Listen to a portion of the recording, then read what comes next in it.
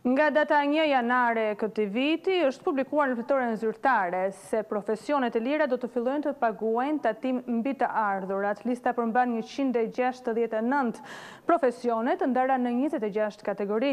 Unë kam në një lidhje të drejtpërdrejtë ekspertin e ekonomisë, zotin Enriko Ceko, i cili do të na informojë rreth mënyrës se si do të taksohen dhe çfarë do të sjellë në ekonominë e vendit ky lloj taksimi.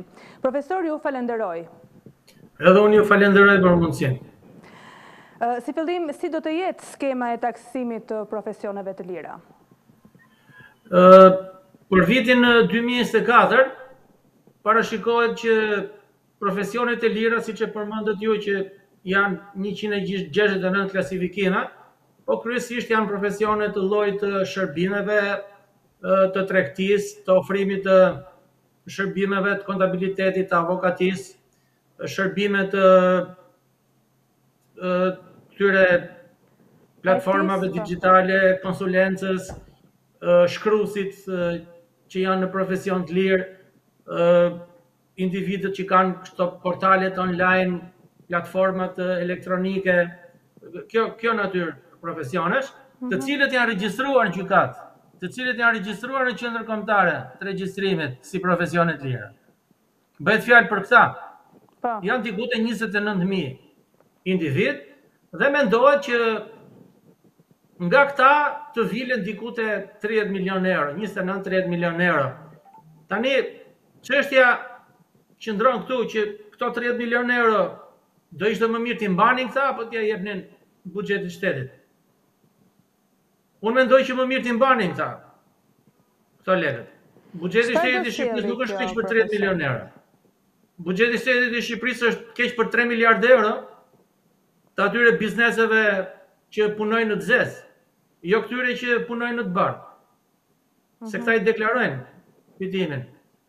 Nga ana tjetër, ne mund të bëjmë një kryqllogari, mendohet që ata që kanë të ardhura mbi 140 milion lek, 14 milion lek, do tatohen te 15% dhe pjesa tjetër mbi 14 milion lek do tatohet 23% dhe ditët e fundit u bë dhe një rregullim që për shkak se në vitin 2023 nuk ishin njoftuar këto individ që do vendosej ky tatim, u ra dakord a priori që tridhjetë për qind e fitimit t'i njifet si shpenzime për biznesin, shpenzime të zbritshme.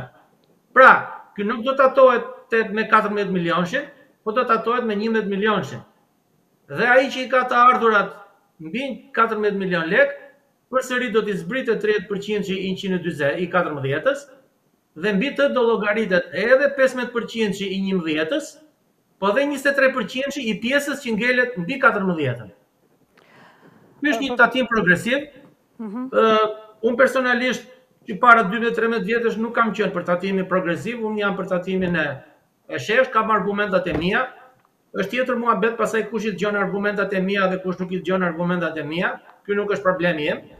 Ë çështja është që janë diku te 29-30 mijë persona të cilët qeveria nuk i konsideron si partner, në një kohë që këta janë partnerë të vërtetë qeverisë. Profesor, a mendoni se kjo mënyrë progresive e tatimit të profesioneve të lira do të nxisë korrupsionin? Shiko, e para e punës njëherë që të gjithë do tentojnë që ose ta shmangin mhm. këtë kufirin mbi 14 milion, do deklarojnë më pak, ose disa të tjerë pastaj do orientohen drejt hapjes së biznesit si biznes SHPK. Se mhm. tani SHPK deri në vitin 2029 bizneset e vogla do jenë pa zero taksa. Domethënë individi tatohet pesëmbëdhjetë për qind dhe njëzet e tre për qind, ndërsa biznesi i vogël zero? Po, a është ky një diferencim që është bërë? Atëherë, atëherë mendohet, unë unë mendoj që kjo bëhet me qëllim që këta persona të regjistrohen si biznes i vogël. Që pastaj në vitin 2029 të tatojnë biznesin e vogël. Mhm. Mm është është një çështje e largët.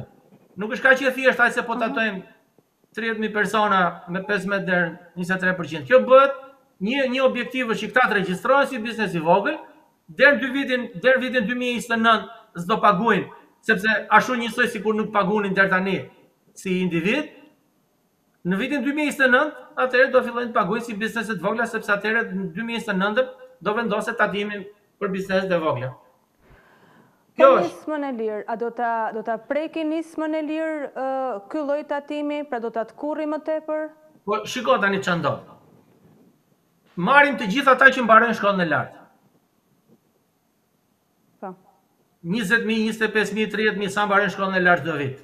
Ku shkojnë këta? Pse të gjithë do punojnë në administratën publike? Jo.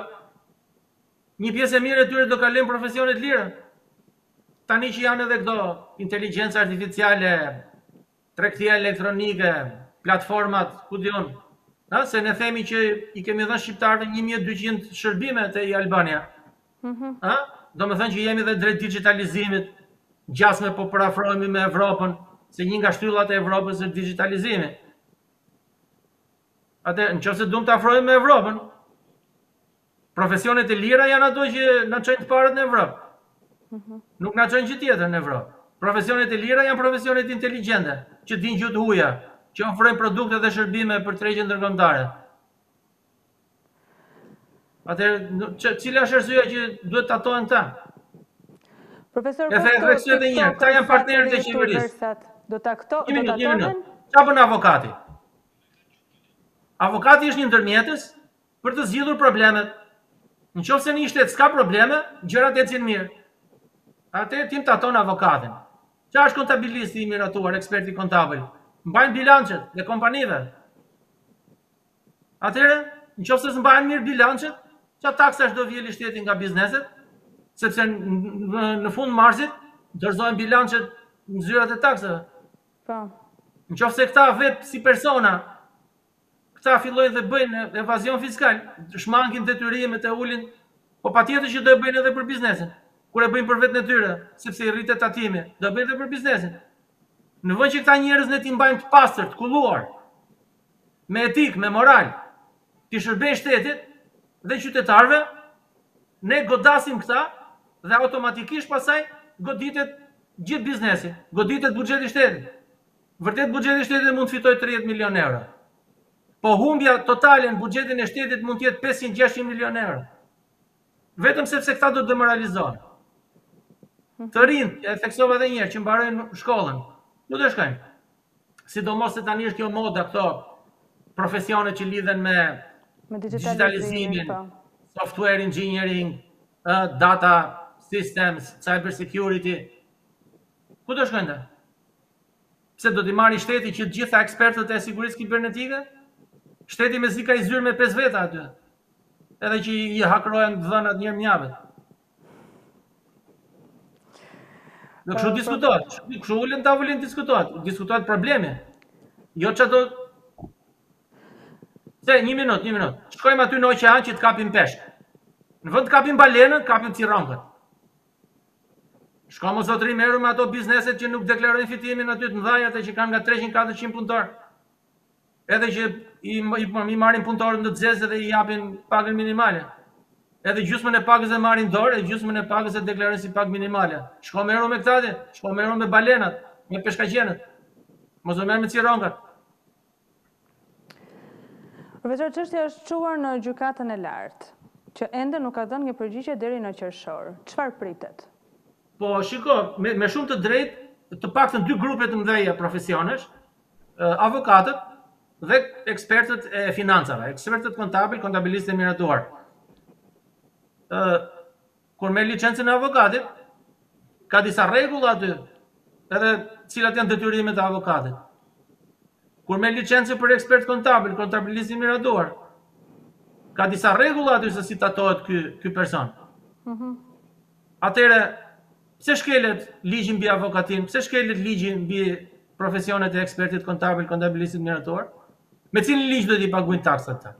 Me ligjin për avokaturën apo me ligjin për për tatimin mbi profesionet e lira. Më thoni mo, me cilin ligj do? Profesor, a rrezikohet Me të drejtë, me shumë të drejtë kanë vënë Gjykatën Kushtetuese.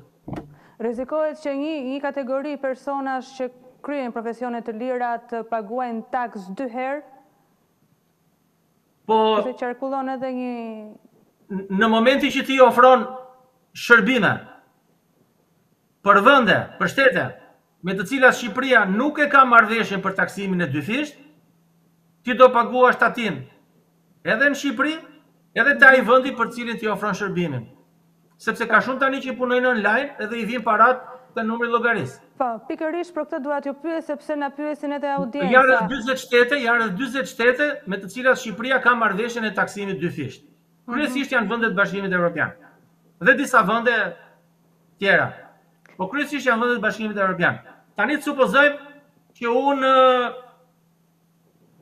bëj një platformë dixhitale dhe ia jap një kompanie në Argjentinë. Me Argjentinën nuk kam marrëdhënie taksimi dyfishtë, s'kam marrëveshje po. taksimi dyfishtë. Duhet të paguaj këtu ta zëmë 15%, po duhet të paguaj edhe 18% sa është në Argjentinë. Dy. Është lënë e qëllimshme kjo apo ka ndonjë gjë jo. s'e kanë parë? Jo, jo, nuk s'ka lidhje fare.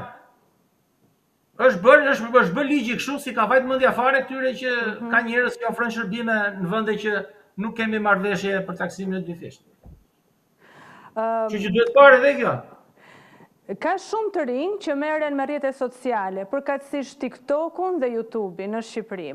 Edhe për këta është ky ligj? Po, Po sepse edhe këta, edhe këta, domethënë fitimet që vijnë nga postimet e nga klikimet e ku di unë, Ka njerëz të cilët jetojnë me të. Merren gjithë ditën me atë punë. Bëjnë postime interesante, të pëlqyeshme. Ashtu e kanë parë të arsyeshme me atë merren dhe platforma i paguan këta, sepse nëpërmjet tyre bëhet edhe reklama për kompanitë e tjera. Kështu funksionon. Do të duhet të tatohen teorikisht. Por çështja është ende e parregulluar në aspektin ndërkombëtar. Mhm. Vetë platformat nuk kanë ende një legjislacion sakt për këtë punën që si mund të regjistrohet një person bloger dhe sa detyrime duhet të paguajë. Qoftë edhe ndaj platformës, po qoftë edhe detyrime fiskale në shtetin ku është platforma dhe në shtetin ku banon individi që është bloger. Po. Është shpejt akoma për tani flasim për këto parat elektronike. Flasim për këto NFT-të, po. smart money. Duhet, edhe e e thamë edhe një herë, duhet merremi me balenat, jo me cironkat. Duhet, duhet, duhet presim të piqet tregu. Ne pa u pjek, pa u pjek byreku në furrë, e heqim pa u pjek. Shitet ai pa u pjek? Nuk shitet, se është i papjekur. Duhet ta lëmë të piqet në furrë ajo gjendja, situata. Po. Edhe profesionet e lira. Profesionet e lira ne duhet i kthejmë në trend, duhet i kthejmë në modë. Duhet t'i mbështesim profesionet e lira, se edhe njëherë e theksoj, janë partneri i vetëm i qeverisë. Profesionet e lira, akademia, shkencëtarët, këta që ofrojnë shërbime, avokatia, kontabilisti, eksperti kontabil, këta që ofrojnë konsulencë teknike, inxhinierët, ku di unë, për, për, për gjëra nga më të ndryshmet. Këta janë partnerë të vërtetë të qeverisë, sepse aty është shkenca. Aty është teknika, aty është teknologjia. Ti ke 350.000 familje në fshat, 1 milion e 400 mijë shqiptarë që s'paguajnë asnjë taksë, që janë fermerë, që kanë 3 hektarë tokë. Këta nuk i taton ti, me 3 hektarë tokë, Bën qef ai me tre hektarë tokë. Ka shumë më shumë të ardhura sesa nji pedagog universiteti. Ai që ka tre hektarë tokë, ka shumë e shumë herë më të ardhura sesa ky personi që fiton katërmbëdhjetë milion lekë në vit. Po hajde ulemi të bëjmë llogaritë kur dush. Po pse nuk tatohen fermerët? apo për për vota. Sepse po u vu tatimi, kanë frikë se nuk do nuk do nuk do votojnë fermerët. Edhe personat që ushtrojnë profesione të lira japin vota, profesor. Jo, ai që ushtron profesion të lirë është njeri i lirë. Mhm. Dhe ne na duhen njerëz të lirë. Nuk na duhen dele.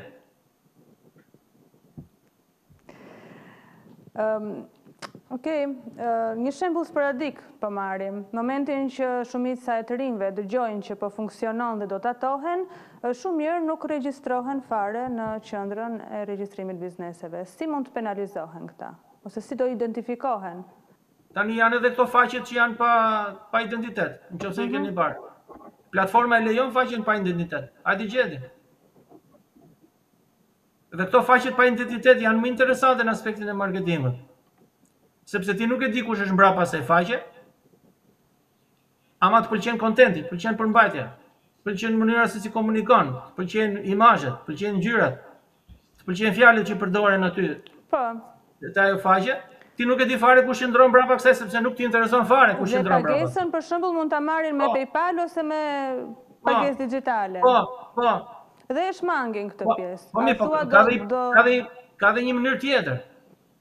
Që hap llogari jashtë shtetit, në një bankë jashtë shtetit e kalon gjithë lekët aty. Edhe këtu shpëton edhe në këtë rast. Po.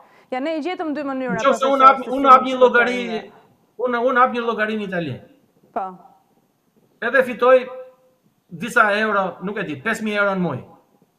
E ça m'kushtoi, e ça m'kushtoi mu se bleva 100 euro bilet me vajt në Rom, me tërheq 5000 euro me i fut në xhep edhe me ardh në Shqipëri. Deri 10000 euro i kaloj kollaj në avion. Dogan. Pa pa deklaratë. Me thënë, dhe kjo mënyrë do ndiqet, përderisa po shtrëngon shteti të rinjtë, ata po. do veprojnë në një lloj mënyre të tillë. Pse t'i paguj shtetit unë 15 përqindshin, kur paguj 100 euro një biletë avioni, edhe shkoj në Romë. Bën dhe një dy ditësh pushim atje? Dy ditë, ba. E, laptopin e marr me veten, s'ësht pushim fare. Po. Se këto janë punë që bëhen kështu, me laptop, me celular. Është një vendim, një vendim i nxituar, profesor. Është nuk është pjekur, nuk është pjekur byreku që të futet në furrë. A, ne kemi 30 vjet ekonomi tregu, këtë palo ekonomi tregu që kemi, se kjo s'është ekonomi tregu, edhe dumë të matemi me Amerikën me 250 vjet kapitalizëm. edhe me Anglinë, 500 vjet kapitalizëm. Sa i taton Britania profesionet e lira? Po Amerika sa i taton profesionet e lira? Shumë herë më pak. Profesor. Shumë herë më pak. Kanë 500 vjet kapitalizëm. Pse? Sepse i konsiderojnë si partner. Kur Skënderbeu luftonte me shpatë, në Britani hapej Akademi e Shkencave. Dhe e kuptoni çfarë diference të madhe kemi dhe? Profesor, unë të falenderoj shumë që ndatë opinionin tuaj dhe na informuat rreth asaj që është vërtet në dobi të publikut në këtë periudhë që po, po vlojnë mediat nga ky lajm që realisht është shumë i nxituar dhe shpresojmë që gjykata kushtetuese të japi një vendim edhe pse Dyshojmë se vendimi që do japi Kushtetuesja do jetë në Po unë mendoj që Gjykata Kushtetuese në radhë parë do merret me profesionin e avokatit dhe me profesionin e ekspertit kontabël të kontabilistit miratuar, sepse ka përplasje dy ligjeve dhe pastaj në qoftë se të tjerët do ngrenë zërin për të mbrojtur të drejtën e tyre, normal që Gjykata Kushtetuese duhet t'i referohet, megjithatë në rastin e profesioneve tjera, Përveç avokatëve dhe kontabilistit miratuar e tjerë, Gjykata Kushtetuese nuk ka kujt t'i referohet. Do t'i referohet vetëm ligjit që për vitin dy mijë e njëzet e katër, ky do jetë tatimi mbi të ardhurat. Domethënë vetëm me anë të protestave mund të mund ta zgjidhim. Ëh, tani me anë të protestave. Nëse ngrihen të rinjtë në Shqipëri ka shumë gjëra për të protestuar. Këtu në Shqipëri ka shumë gjëra për të protestuar. Po kur protestuam ne për teatrin, këta profesionet e lira nuk erdhën aty te teatri të mbronin teatrin. Kështu që tani këta që kanë profesionet e lira le të protestojnë sa dunë. Ata njerëzit që dolën aty te teatri nuk shkojnë që t'i mbrojnë këta në protestë. Pse? Sepse nuk ka kohezion social. Mhm. Ka varfëri të madhe. Duhet të rregullojmë ca gjëna tjera ne për të dalë në protestë, sesa Kur kur protestë, protestë është fjalë e madhe, revoltë, revoltë është fjalë e madhe. Dhe nga ana tjetër nuk është mirë që politika t'i përdori këta profesionet e lira për presion ndaj ndaj qeverisë. Mhm. Se duhet pa, duhet pa nga të gjithë këndvështrimet situata. Mirë, profesor, shumë faleminderit që ishe pjesë e kësaj rubrike. Edhe unë ju falenderoj për mundësinë. Mirë, dëgjofshim sërish.